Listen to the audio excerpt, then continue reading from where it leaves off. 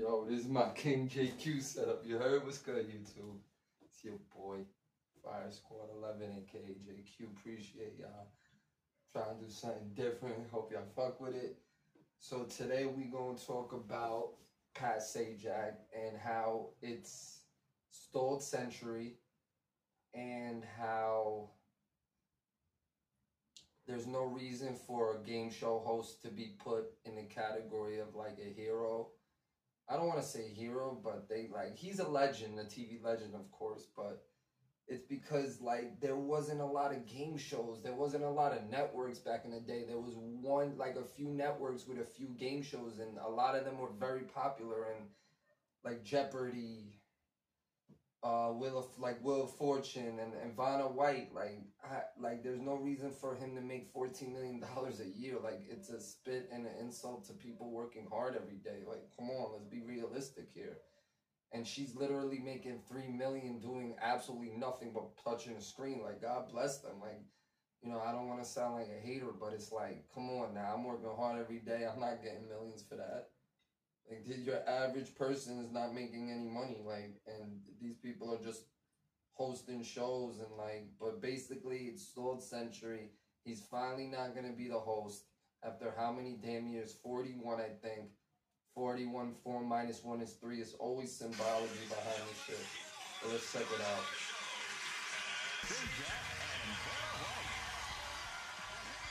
Pat Sajak, half of one of the most famous duos on TV, will say goodbye tonight as Pat Sajak takes his final spin on the Tonight Lord gonna be his last Now he was episode. Let's see how many people tune in and care. 41 years. Whoa. Last year, now, you remember this, that this would be a final season. century. And now the 77-year-old is offering his parting words to the audience. Jolene Kent looks back at the legendary career of a man who helped teach us all the art of solving a puzzle. Whoa, he taught us the art of solving a puzzle.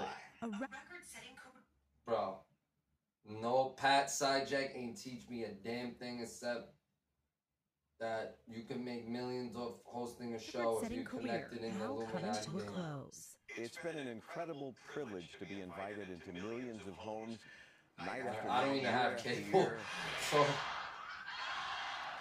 it's a different world, Pat. Like, For more than four think about it. He started in 1980 something, like when I was born, more than eight because I'm close to that age. But come on, bro.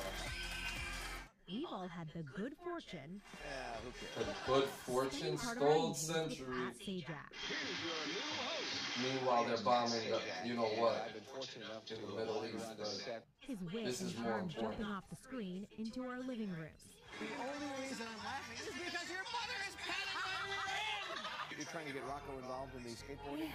your mother panicked my rear end. French bulldog. Whoa. Head, short legs, so you can do that. That's how I got this job. And with each spin, bot vowel A. Sure, three A's. solved Flip away. A strange loop wins the Tony. Yeah, that's it. And of course, a notable miss or two. Tavares, right in the butt. Yo, two butt references. Sajak's That's not as by the accident. affable host with Vanna White by his side made him a TV legend. When I first started, I I was agree so with that. green. You made me so comfortable and made me so confident, Pat.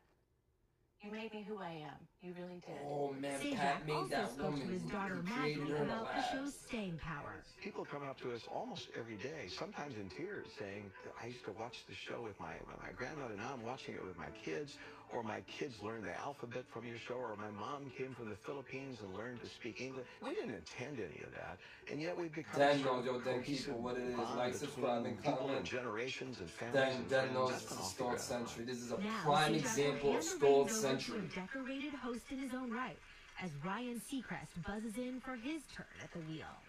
It really does feel like an end of an era.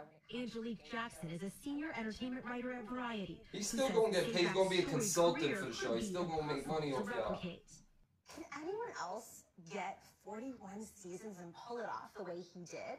I mean, quite simply, no. This is just not the way that TV works anymore. You don't have a game show that is part of everybody's lives when they are a child and then they are married and then they are a parent and then they are a grandparent. the end of an era. So basically, the video point was that we're living in a stalled century where things aren't progressing correctly. I mean, we shouldn't even worry about game shows in this world. Like, a game show's cool, but it's a little outdated.